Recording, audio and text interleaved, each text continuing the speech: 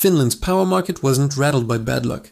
It was ambushed by a trap built from obsolete climate forecasts and decade long derivative bets that were never meant to survive a dry winter.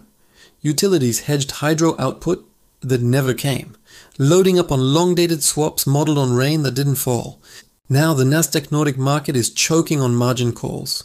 Clearing members are buckling, and cross border exposures are dragging German power prices into the vortex. Industrial giants that depend on stable electricity costs are discovering their hedges might be turning toxic, while municipal utilities stare down collateral holes big enough to swallow their grid budgets. Regulators saw the warnings, buried them, and let politics smother the risk assessments that could have stopped this. Carbon credit funds tied to Nordic hydro benchmarks are wobbling as valuations slip. And if this is what one unpredictable winter can do, imagine the chaos when Europe's future grids swing on climate volatility that no model can hedge. It started with a winter that felt wrong the moment you stepped outside. In January 2025, southern Finland looked less like the edge of the Arctic and more like a wet parking lot in Amsterdam. Lakes that should have been locked in ice were slushy. Reservoir levels quietly slid down like a phone battery stuck on 5%. On paper, it was still winter. On the grid, it was the first crack in a bet that had been placed 20 years earlier. For years, Nordic utilities treated hydropower like a bottomless ATM. Water in, money out. The playbook was simple. Take rainfall data from the 80s and 90s, assume the sky would behave like a polite repeat customer and write decade long electricity swaps on top of that. If you have ever promised your friend rides to school for the whole year while owning a car on 2% fuel, you already understand the risk management. The contracts sounded sophisticated. Forward curves, base load strips, seasonal hedges. In reality, they boil down to one belief. The rain will come. It always has. The models behind those trades were older than half the people scrolling YouTube on their phones. Climate science had moved on, the contracts had not. I remember sitting in a risk meeting in 2019 with a Finnish utility, listening to a senior trader tap a chart on the wall. He pointed at a blue line showing average inflows since the 1970s and said, This river has never failed us. He said it like someone who talks about a grandparent who always bails them out. Nobody in the room pulled up the newer climate projections, showing more dry winters, more weird swings, less stability. Those slides stayed in forgotten conference folders.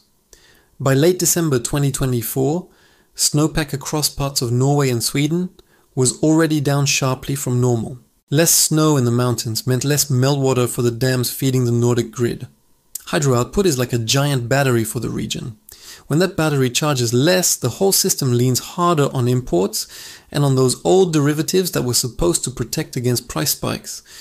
Those derivatives sat on Nasdaq Nordic's power market, the quiet casino of Europe's electricity world. Utilities and industrial buyers locked in power prices for years ahead. Banks and clearing members sat in the middle like casino cages, making sure everyone posted collateral. As long as prices moved within the old climate comfort zone, everyone looked like a genius. Then the dry winter turned into a full statistical insult. Spot prices jumped. Forward prices for 2025 and 2026 jolted up as traders realized the reservoirs were not refilling like the textbooks promised. Suddenly, those long dated short positions, written back when rain was cheap and endless on the spreadsheets, turned poisonous. Margin calls started hitting desks like cold morning alarms.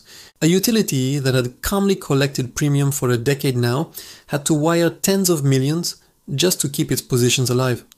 Clearing members, the ones who were supposed to be the grown ups in the room, watched their own risk dashboards go from green to screaming red as correlated bets all moved against the same old rainfall fantasy. What looked like boring insurance against volatility had turned into a loaded device aimed straight at the balance sheets of the very companies running the lights. And all of it rested on climate patterns that had quietly shifted while the contracts pretended time had stood still. An entire region had effectively staked its energy security on a weather story that the atmosphere had stopped telling years ago. The crack in Finland did not stay in Finland. Stress in a power grid behaves like a group chat leak. It jumps borders faster than anyone can hit delete. The moment Nordic prices blew out, Traders in Frankfurt and London were not staring at snow maps, they were staring at correlation tables. For years, big German manufacturers had done something that sounded smart. They bought their physical power in Germany but used Nordic derivatives as a cheap insurance policy. Nordic Hydro had been the calm anchor of Europe. A steel plant in Essen or a factory near Stuttgart could hedge its 2026 power bill using contracts linked to rivers in Norway and reservoirs in Finland. On a whiteboard, this looked elegant. Prices in the Nordics and prices in Germany usually move together, like two kids tied with the same rope. If one kid suddenly falls off a cliff, the rope stops being a safety device. When the dry winter wrecked the old pattern, those hedges flipped. My friend Lena, who manages energy risk for a mid sized German chemical plant, called me in early February 2025. She sounded less like a finance professional and more like someone who had just opened a surprise bill from a luxury hotel they never stayed in. The contracts that were meant to protect their power costs had become a fast draining hole on the balance sheet. And it was not just factories. Municipal utilities in Hamburg, Munich, and Cologne had been sold the same story. You are safe, you are boring. Use Nordic derivatives to smooth your budgets. These city owned companies pay for streetlights, trams, and public pools. Suddenly, they were being asked for collateral calls the size of their entire annual grid plans. In the background, another layer was snapping. Some climate themed funds in Paris and Zurich had loaded up on structured products that mixed Nordic electricity, German power, and European carbon credits. It sounded modern, green, diversified, perfect for marketing slides. But under the hood, many of those trades were just more ways of betting that rainfall in the north and industrial demand in the center of Europe would politely dance together. Regulators were not blind the European Securities and Markets Authority, national watchdogs in Berlin and Helsinki, risk departments at central banks, they all had discussion papers on climate volatility and systemic margin risk. I have seen some of those reports. They read like worried diary entries. But reports do not win elections. Keeping power prices looking stable does.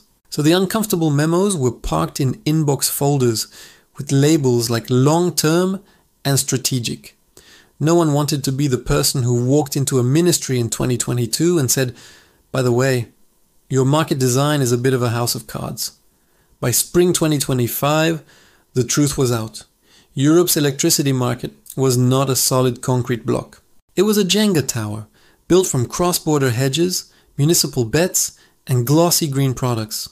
Finland had yanked out a wooden piece that every model swore was fixed in place and the whole structure was starting to sway. When that carefully stacked market started to wobble, everyone kept staring at the missing piece. Finland, Nordic Hydro, one weird winter. But the real problem was not the block that moved. It was the whole tower, built for yesterday's weather and yesterday's risk. Here is the uncomfortable part. What shook Europe in 2025 was not some once in a century freak event. It was a soft preview, Climate volatility is speeding up faster than the rulebooks. The atmosphere no longer behaves like a tidy spreadsheet from 1995. It behaves like a teenager with three energy drinks and no curfew. Hydro was built on the idea of seasons that repeat snow in the mountains, melt in spring, full reservoirs by summer. That pattern powered electricity contracts all the way from Oslo to Milan. But now the timing shifts, the volume swings, the extremes pile up. You can still build dams, but you cannot hedge a river that sometimes behaves like the Amazon and sometimes like a dried up creek in Spain. I remember a seminar at a university in Zurich in 2023. A climate scientist showed a slide with rainfall data from the last 40 years. The line did not drift, it jumped. She said very calmly, This is not noise, this is a regime change. Half the room nodded, the other half checked emails about new long dated power deals. Two years later, those deals met the new reality. The knock on effect is brutal. Contracts that were supposed to spread risk across time now cluster it. When one dry year hits, hydro dependent products, German industrial hedges, and even some carbon credit strategies all move in the same ugly direction. The fancy name for this is correlation breakdown.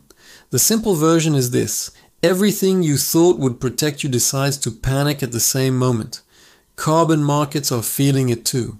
A lot of funds sold themselves as climate safe because they held allowances linked to cleaner power systems in the north.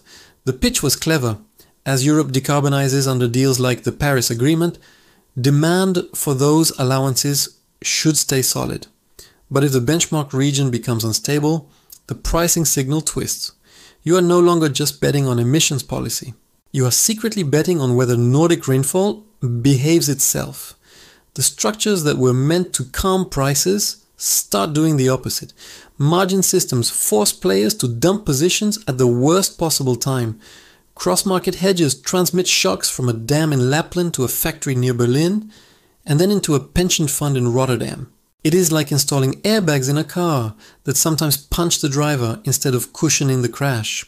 What happens when the next decade looks less like a line and more like a heartbeat monitor? There will be winters with almost ridiculous surplus wind and sun. There will be years where reservoirs and gas storage both sit low at the same time. Old style power derivatives assume the future wiggles gently around an average. The actual future looks more like on-off switches, either way too much or way too little. In that world, some utilities will find there is nothing left to buy that truly protects them. The tools on offer will still have impressive names and long-term graphs, but underneath they will be tied to climate patterns that no longer repeat. Insurance stops being insurance when the house itself keeps changing shape. The harsh truth is simple. Finland was not the main collapse. It was the fire alarm going off in the corridor. Europe's power markets are still priced, modeled and regulated for the climate of our parents, not for the physics of the next 20 years. The contracts on the screens are hedges for a past that is gone. The risk that is coming does not care how elegant those contracts look. It only cares that the water, the wind and the heat no longer follow the script